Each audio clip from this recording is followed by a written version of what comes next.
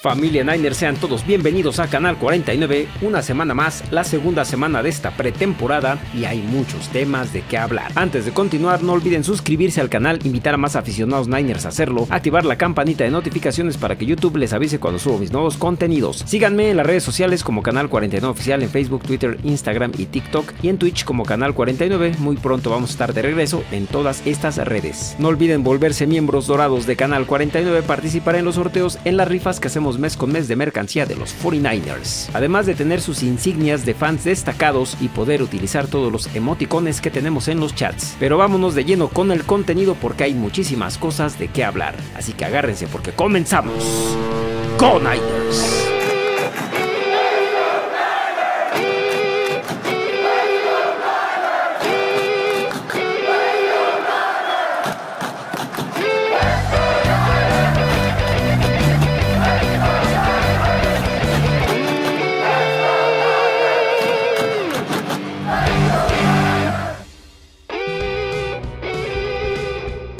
Amargo debut de los 49ers en su primer juego de pretemporada. Y no, no me refiero al marcador, eso es picata minuta. Claro que un 34-7 tampoco es algo muy agradable, pero como ya lo habíamos hablado anteriormente, el resultado en estos encuentros son X. Ganar o perder da igual. Lo interesante es ver el funcionamiento de ciertos elementos y o unidades, como lo fue en este caso, donde realmente hay muy poco que rescatar ante un penoso funcionamiento de quienes en el papel serán la rotación del equipo titular en diversas posiciones, tanto a la ofensiva como a la defensiva. Honorosas excepciones lograron brillar un poco durante el juego del domingo, pero un servidor esperaba mucho más.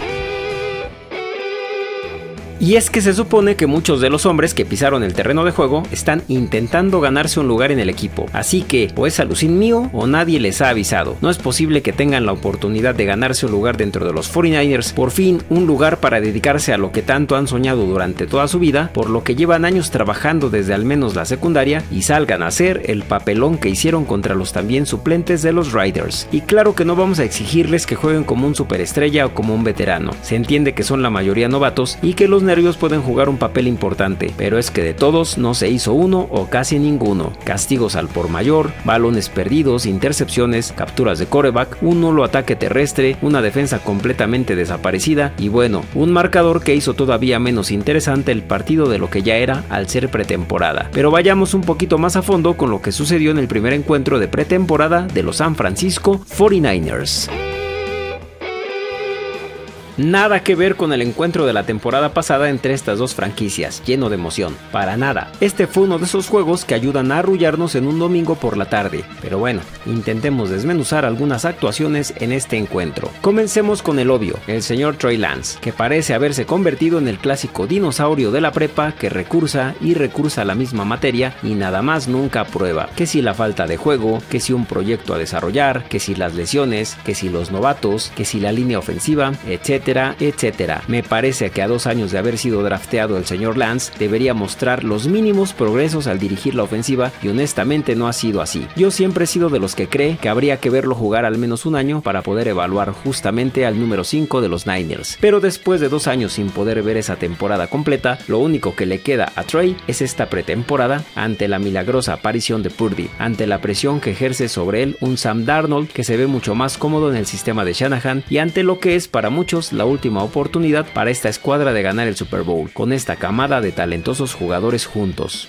No estamos para seguir experimentando ni para esperar a que el señor Trey Lance por fin esté desarrollado. Ha tenido dos años para estudiar este playbook y al menos lo que yo vi el domingo fue lo mismo que vi en su debut contra Kansas City hace dos pretemporadas. Un coreback inquieto en la bolsa, que no toma decisiones a tiempo, que sigue confiando demasiado en sus piernas y que pierde sus objetivos. Sí, por la presión que tuvo encima todo el tiempo, pero porque sigue sin saber identificar a las defensas en el pre-snap.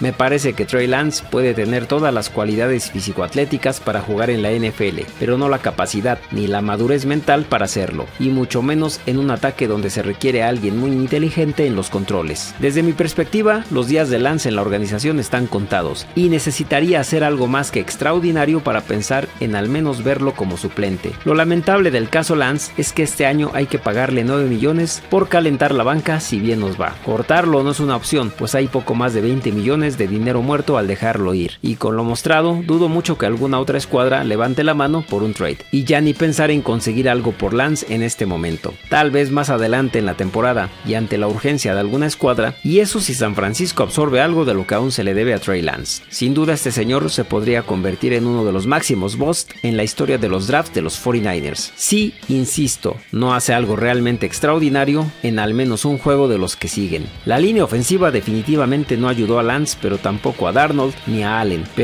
Innumerables presiones a los corebacks. Cuatro capturas nada más en la primera mitad, castigos que complicaban los drives y un ataque terrestre que entre seis corredores solo sumó 69 yardas. La línea ofensiva, definitivamente, la unidad con el peor desempeño en el partido. Cameron Latu, el ala cerrada novato, fumbleó un balón, cometió un castigo en el primer regreso de patada y definitivamente no tuvo su mejor debut en la NFL. Lo más rescatable de la ofensiva fue Ronnie Bell. El receptor de séptima ronda no desperdició la oportunidad y brilló con 6 recepciones para 58 yardas y se conectó con el pase más largo de la ofensiva con Darnold para 37 yardas, además de una reversible para 15 yardas. También Chris Conley se fue con 3 recepciones y 47 yardas. Y bueno, Ross Dooley con un touchdown que le cayó de rebote. Tyron Davis Price mostró músculo con 9 acarreos, aunque solo consiguió 29 yardas por tierra. Así que Bell de lo destacado a la ofensiva en este encuentro. A la defensiva, comencemos con el otro bust cantado desde hace tiempo. Y es que ver la manera en que Javon Kinlow desaparece en cada jugada, el cómo lo arrastran y termina buscando dónde demonios está el balón es ridículo. Confía tanto en su masa corporal que se engancha peleando con el oponente y pierde de vista el balón continuamente. Apuesta a eliminar físicamente al adversario, pero al no conseguirlo queda anulado completamente jugada tras jugada. Kinlow es otro hombre que tendremos que ver cómo lo canjeamos a la brevedad. A Kinlow se le deben cerca de 5 millones, y yo ya buscaría engañar a alguien para que piense que en un nuevo esquema puede encajar, y de no encontrarlo tal vez renunciar a esos 5 millones, pero darle espacio a un jugador que pueda contribuir a el éxito del equipo. Pero en general una línea defensiva que no mostró ni poder presionar ni cerrar huecos. Los Raiders corrieron para 120 yardas y solo se consiguió una captura con la grata actuación de Clelin Ferrell, proveniente de Las Vegas precisamente. Ferrell consiguió en 5 snaps dos tacleadas, una para pérdida de yardas, una captura de coreback y un golpe al mariscal de campo. Y creo que puede ser un gran hombre de rotación en la D-line. Hyder más o menos, pero sabemos que en las manos de Kokurek juega mucho mejor que en otros lados. El linebacker Jalen Graham, novato de Purdue de séptima ronda, también destacó con 6 tacleadas y de esas 5 solo, idénticos números que Marcelino McCready Ball. Así que habrá tiro en la posición de linebacker que dejó al Zahir. En la secundaria, Jair Brown se vio fuerte, bajando continuamente desde la zona profunda con buenos tacleos. Ambry Thomas tuvo buenas coberturas y participó en una jugada de cuarta y una donde San Francisco detuvo. No así a Isaiah Oliver, que viene de Atlanta, a quien quemaron continuamente como nickelback. Dos muy notorias y una de ellas para touchdown. Parece abrirse la puerta para Sammy Womack o Ambry Thomas en esa posición. Y por último, los equipos especiales, donde la flamante tercera ronda el pateador Nick Murray falló en su debut los dos goles de campo que tuvo en su pierna, uno de 40 y otro de 58 yardas. Para nada el debut que esperábamos para quien rompió todos los récords en Michigan y en un campo sin viento. Yo le doy los dos próximos juegos a Murray para cambiar radicalmente esta situación y si no, pues alguien tiene que llamar al señor Robbie Gold y traerlo de donde quiera que esté jugando golf.